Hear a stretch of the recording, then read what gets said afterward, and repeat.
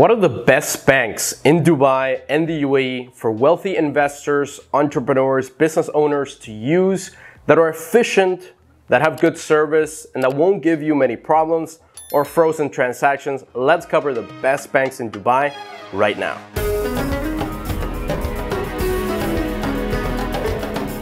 As you know, if you watch this channel, I live in Dubai and the UAE. I run my business here. I have my banking here personal and corporate. I use my bank accounts for crypto, for large transactions with clients, for transactions all over the world. And I've had these bank accounts for over a year now. So I'm going to tell you from personal experience which banks are the best and also objectively in Dubai, which banks should you use depending on what activity you're actually going to do in Dubai and what your company is going to do. So first up, the bank that I personally use is Emirates NBD. You might have seen their logo. They're quite a popular bank here. And objectively, it is one of the best banks in Dubai. In my personal experience, it has been the best, specifically if you're dealing with large transactions with other countries. Let's say you're sending money from the US, from Canada, from Australia, from any country in Europe, from Asia, wherever you're sending money to your bank account in UAE, in Dubai, if you're sending large transactions, let's say hundreds of thousands of dollars, millions of dollars, tens of millions of dollars, this bank tends to be really friendly to large transactions. They don't freeze your transactions. They don't give you any problems. I have both personal and corporate banking, both priority banking, which you can definitely get. I highly recommend you do priority banking. They do require you to make a minimum deposit of around $55,000 to start so that you get priority banking after you don't need to keep that balance all the time. But I do recommend you to have a good relationship with your bank and your bank representative.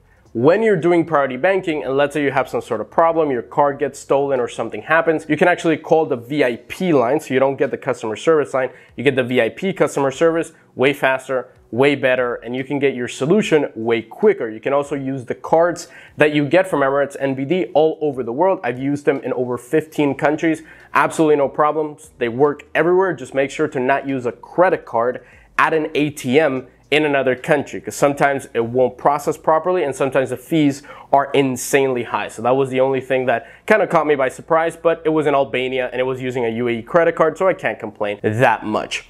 When it comes to using the bank for crypto, actually getting crypto transactions, cashing out crypto to your Emirates NBD account. I haven't had any problems. For example, some of my clients living all over the world, they pay me in crypto to set up a business here in Dubai for them to set up a free zone company and get their ID and visa. I cash out that money and then I go and pay the government and the lawyers that are involved in this process. In that cashing out process, I've done it many times with hundreds of thousands of dollars. Absolutely no problems with Emirates NBD, both personal and the corporate level. Their corporate banking is a little clunky to send transactions all over the world. The transactions are immediate. They do go through really quickly and the fees are not so bad, but the website could be better. When it comes to personal banking, it is very efficient, really secure, and I love the app that you get with Emirates NBD. So overall, a great experience in my personal opinion and also from people that I know that use Emirates NBD. They get their bank accounts really quickly. My personal account took about seven days. And then once you get your personal account at any of the branches in Dubai, then the personal account, the person that opened it for you or the representative that opened it for you, they connect you to the corporate representative.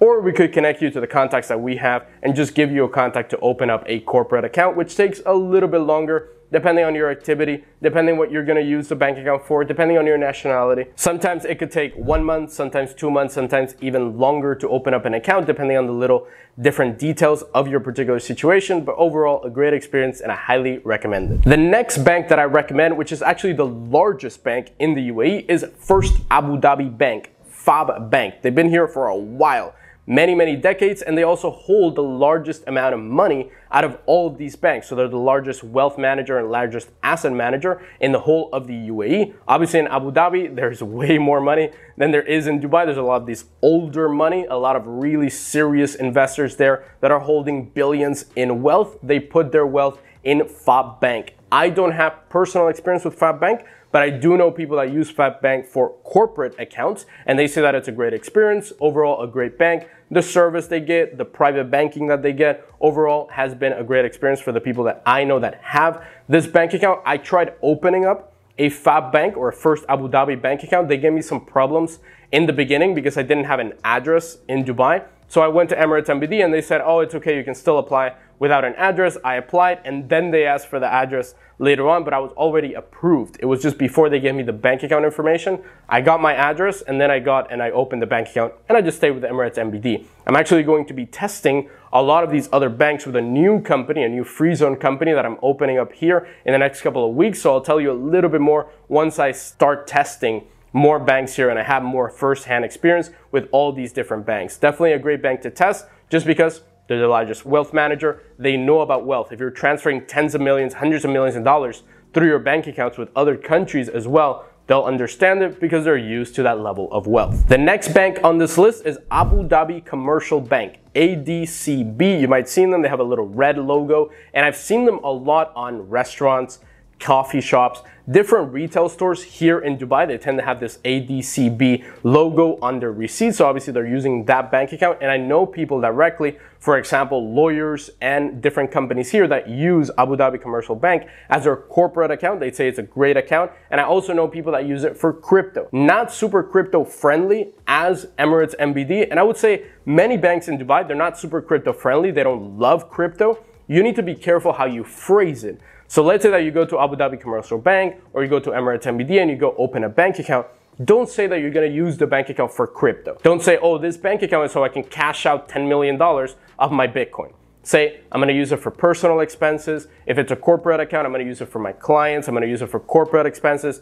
Once you have the bank account, then you can cash out crypto. That's what I tell my clients.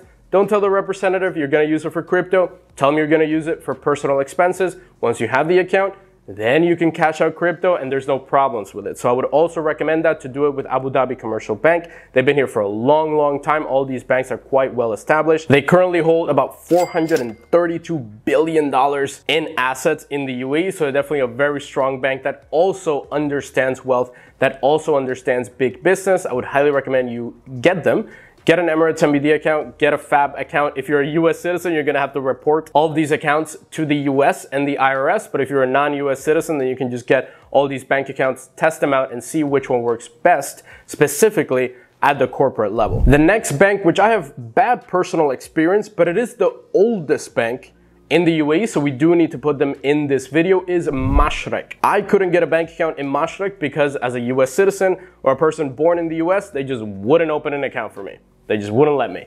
My friends who are from different nationalities, some Croatians, Serbians, some Portuguese people have been able to get Mashreq accounts. They're very happy with it. They've cashed out crypto to that account. No problems at all. I know some people that use corporate Mashreq. They're also very happy with it, but they're the oldest bank in the UAE, so they're a little bit more traditional, a little bit less efficient, less quick than Emirates NBD or FAB or ADCB, Abu Dhabi Commercial Bank. So definitely one bank that is worth mentioning. And if you're not able to get a bank account in those first three banks that we talked about, let's say you're not able to get a corporate bank account. They just don't like the your company or what you do. They don't like you as a person. They don't like your nationality. Go to Mashreq, open up an account in Mashreq. And how it typically works in the UAE and Dubai is banks want to see that you have another bank account in Dubai. So for example, when I first arrived in Dubai, I didn't have an ID, I didn't have a company, I didn't have anything, and I went to a bank to open a bank account. They said, do you have any other bank accounts in Dubai? I said no, and they said, oh, we need another bank account in Dubai.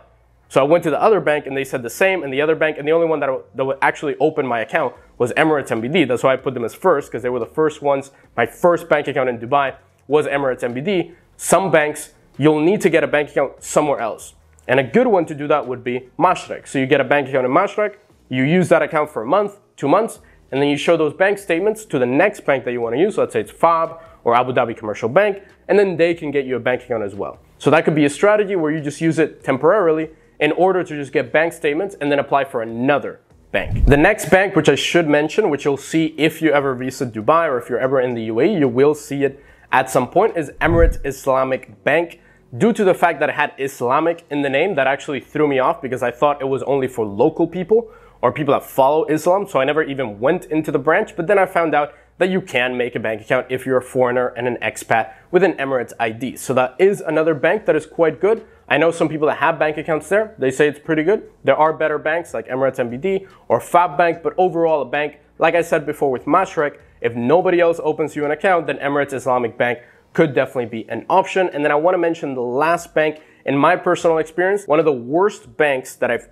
ever dealt with, that I don't recommend anybody deal with, and I don't recommend you open it specifically if you're transacting large amounts of money from other countries and large amounts of money in crypto would be Ras Al Khaimah Bank, RAK Bank. You will see them a lot. They run a lot of ads, they advertise themselves a lot, they have a very popular website, social media pages, and everything. I don't recommend you get a bank account there. We got a bank account there, and we started transacting some money $1,000, $2,000, $5,000 until I sent a payment over $5,000 from the US to the bank account here. It got frozen. We had to communicate with the representative for a couple of days. It got released.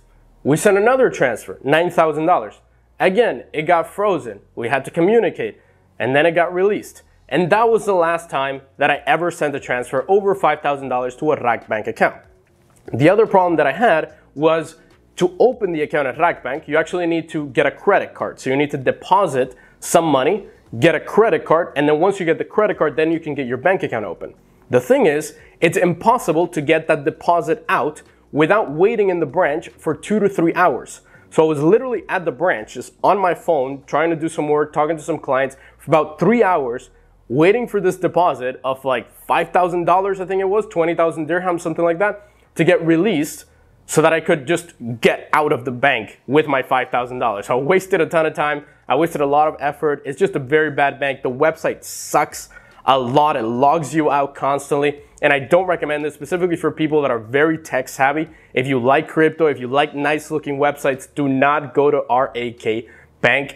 I wish you the best when it comes to banking in Dubai. Just avoid this particular bank. I highly recommend you to not use them. All right, that's been my experience and objectively the list of the best and largest banks in Dubai and the UAE. If you want help moving to Dubai, moving your business to Dubai, help with banking in Dubai, getting an ID, setting up a business here, click that first link in the description, book a one-on-one call with me. I can help you with all of this process, helping set it up for you, even remotely, even if you're in another country, we can get it all set up for you. And if you want to find out what are the best areas to live in Dubai, maybe you're just looking to stay here for a couple of days or weeks or looking to live here, what are the best places to live in Dubai? You can check the video here. Quite popular, best areas and places to live in this beautiful city and country. Subscribe, hit that notification bell, that like button down below. I'm the Wealthy Expat. I will see you on the next video.